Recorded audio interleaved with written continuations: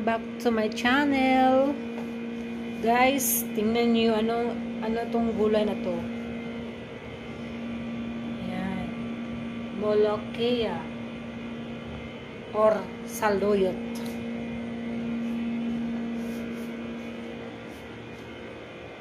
Dami, no?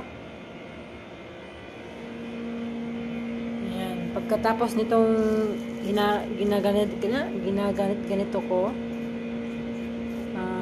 pagkatapos kong himay-himayin,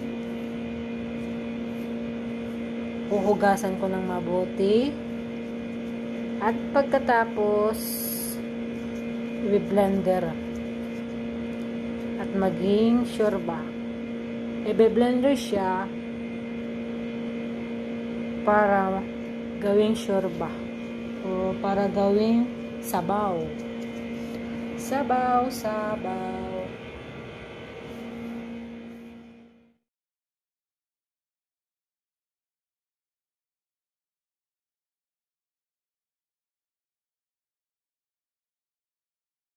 Hello guys.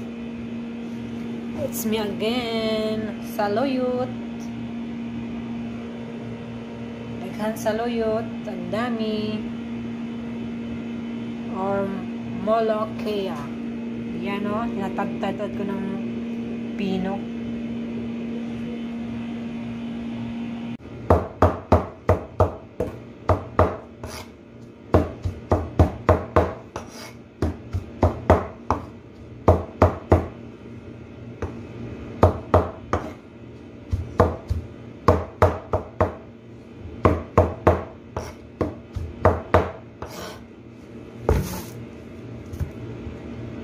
Blender ko ulit yan para mabilis.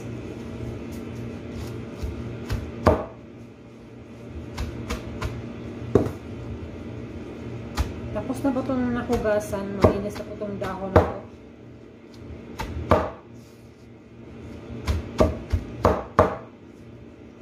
Ito po ay molokia in Arabic.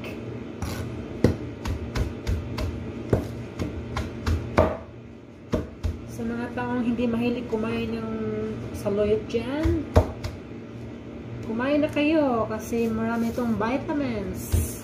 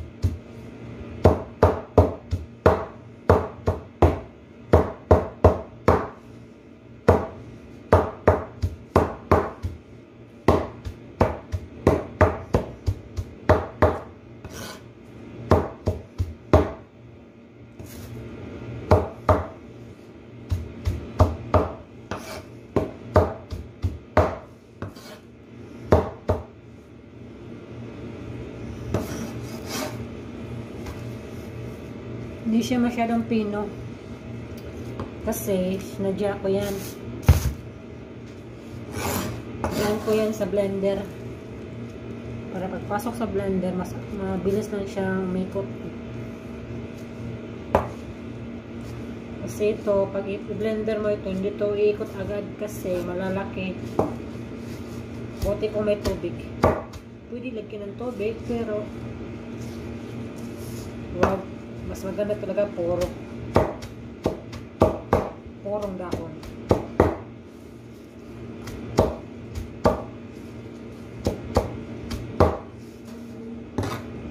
Pero sa akin, lagyan ko ng tubig na konti lang.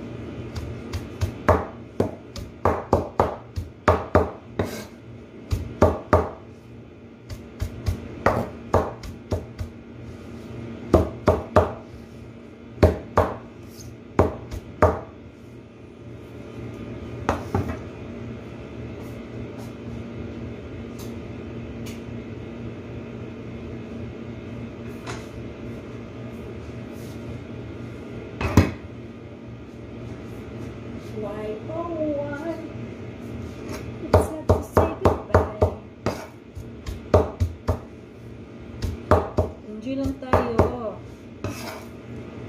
Kahit maraming trabaho. Sasayo lang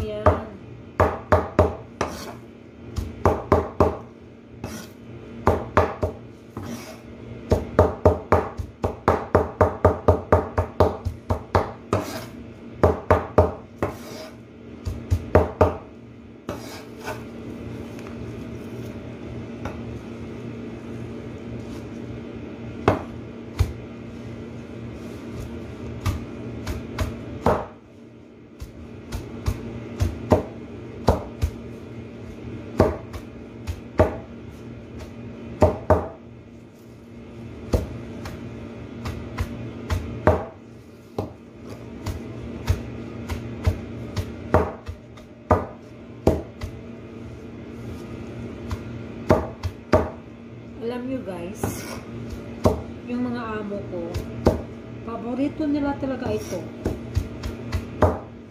Kasi, masarap daw ako magluto. Wow!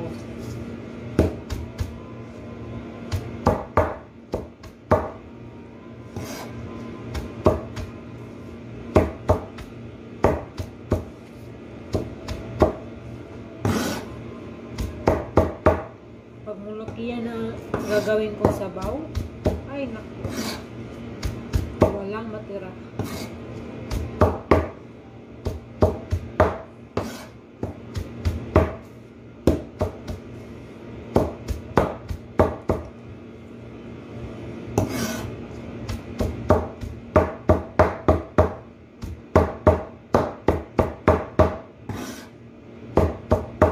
So, ito naman ay masustansyang gulay. Kayo, sa hindi pa mahilig kumain ng gulay, ngayon, umpisahan nyo na.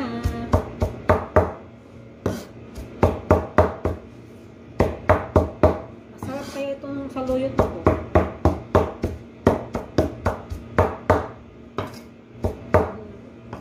Maraming pro mga maraming vitamins. Potassium. Ha, sorry. May potassium, may ano ba yung iba? Hindi ko alam. Research ko muna. Research ko muna anong meron dyan. Basta alam ko number one yung potassium.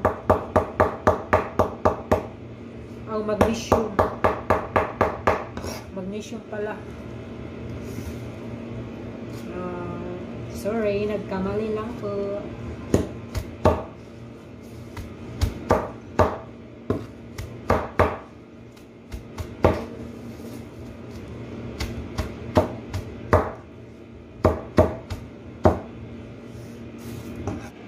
Ayan na, naka-blender na siya. Ayan. Nakabalot na. Hindi ko na pinakita yung mag-blender ako kasi medyo mahirap na. Daming trabaho. Ayan. Ayan ang aking finished product ng Molokia. Magsabaw na, ready na, ready na siya isabaw. Uh, ready niyan, ready na siya. At ilagay ko to sa freezer para manigas. Para hindi masera. Guys, gagawa ako ng Molokia. Ang una ay, andyan na yung onion. Naka-ready na siya sa calderin. Ito, frozen saloyot or Molokia.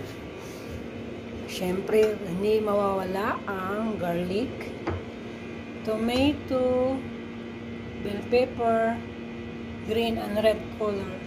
Itong mga to, i-blender ko. Okay. Start, gisa na, maggisa.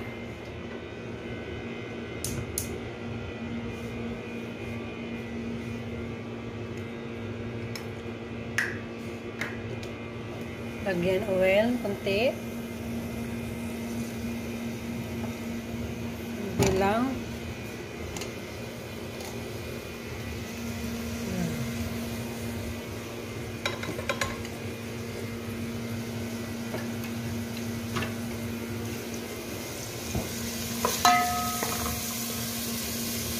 Yung rice naka-ready na rin. White rice ang gagawin ko ngayon. At kumukulo na yung manok.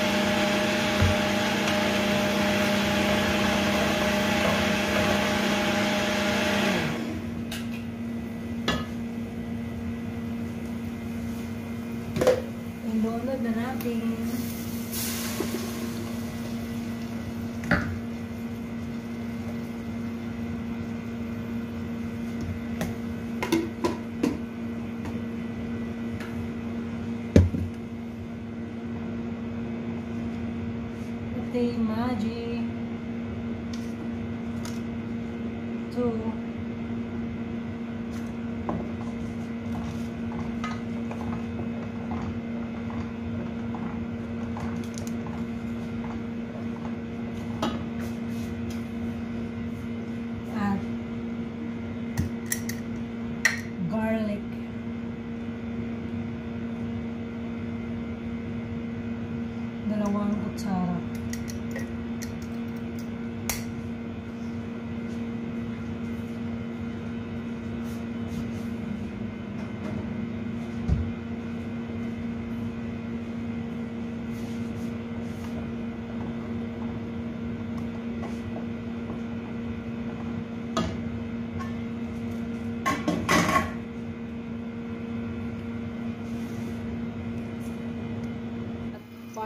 Masarap lalo yung sabaw ng manok. ilagay dito. Haluin konti. Ilagay ng konti.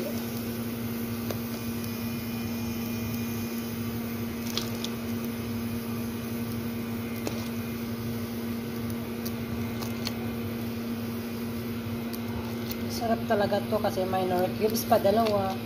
May sabaw pa ng manok.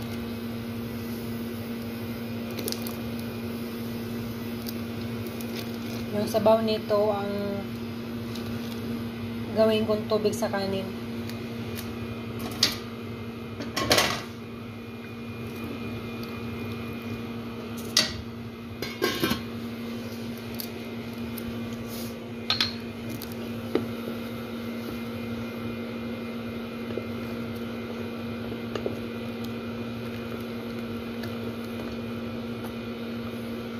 Pag kumulo, eh, lunod na ito. Itong ginawa kong saluyot. Saluyot na naka-blender.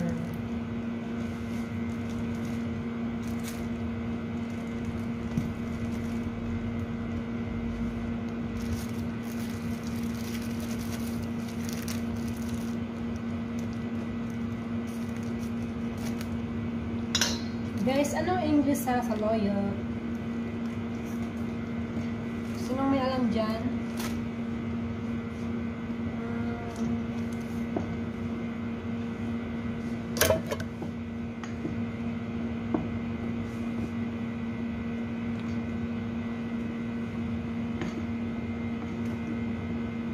Ito na siya. Sherba Molokea. Sherba Molokea. This is Sherba Molokea.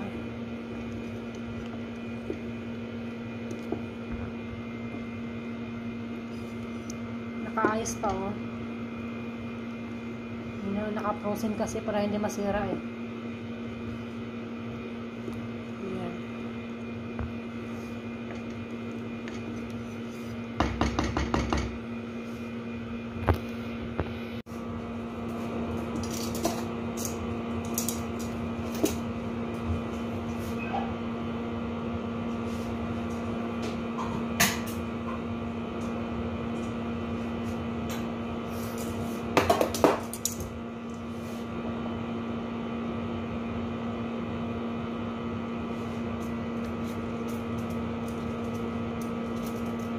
Ang manok ay ipasok mo rin sa oven at apa para yung balat niya ay maging kulay brown. Kulay golden brown.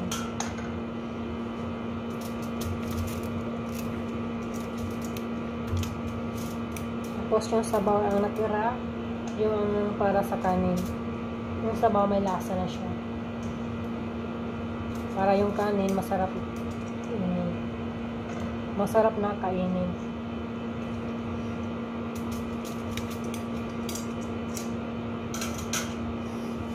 Ayan.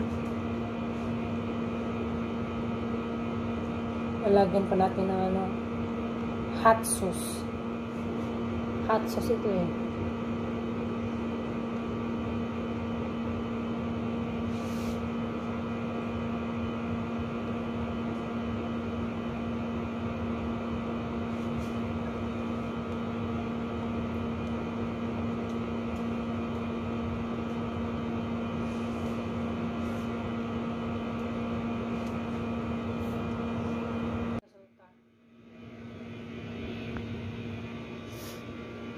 At pagkatapos, ilagay sa loob para maging golden brown ang yung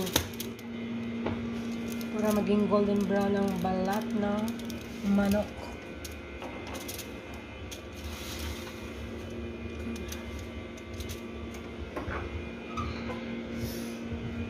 At itong sabaw ay sasalain ko para yung mga mga sibuyas na yan ma- matanggal na yung mga sasalain ko to para maging uh, sasalain ko para mawala itong mga onion na to para malinis yung kanin at lagyan ng tatlong siling maanghang.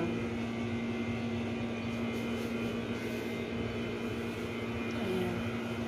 Hintayin natin mga makulo at saka natin i ilagay ang bigas.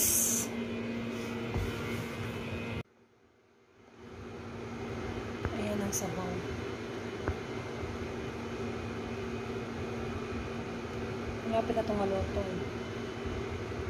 At nag-aantay naman rin yung mga tao sa labas. Nagugutom na siguro. Minamadali nilang pagluluto ko. eh. Kaya pagkatapos maluto, diretso na yan nakukuha. Maganda dito, hindi na kailangan mag-serve. Sila mismo kukuha ng pagkain nila dito sa ano, sa may kaldero. Ngayon, kumulo na yung tubig. Lagyan natin ng konting mantika. Kasi dito mahilig ng mantika. Mahilig ng mantika. At ilunod na natin ang bigas.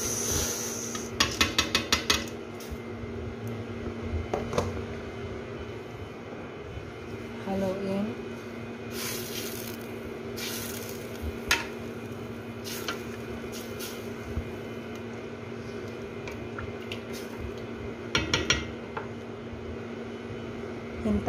Ma-absorb niya ang tubig. Saka ako gagawa ng kishna or ginisang mga ginisang sibuyas. Gumawa na rin ako ng kishna. Ang kishna ay mga sibuyas lahat. At lagyan konti ng asin, spices powder, and beans or lobia in Arabic. Ang tawag nito ay kishna. Ang kishna ay ilagay sa taas ng kanin. O hindi taas pala, ilagay sa ibabaw ng kanin. At ang manok ay brown na yung balat. At ang molokeya ay luto na hinaan ang apoy. Ang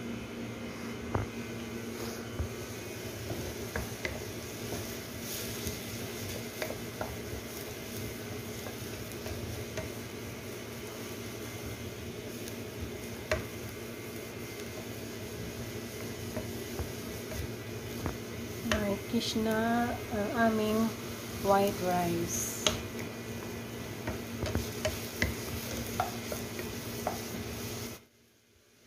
na tayo ng, ng mga spices nito. Isa lang, mga kasi mga ang ang asin kunti lang. Shuay!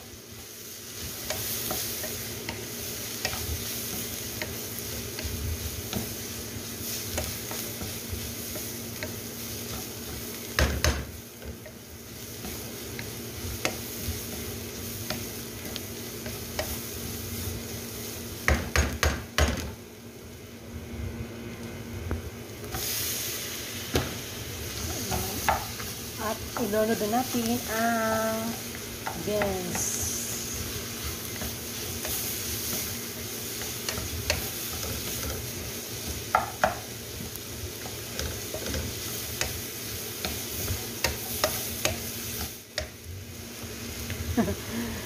galit siya, galit. Galit ka. At guys, ito na siya. Ayan, yung kiss na namin. Nasa ibabaw ng kanin. Um, luto na to. At ito, luto na. Ready to 8 na yan. Ready to 8. At hindi na ako magsiserve sa kanila. Sila na mismo ang kukuha ng pagkain dito. And, thank you.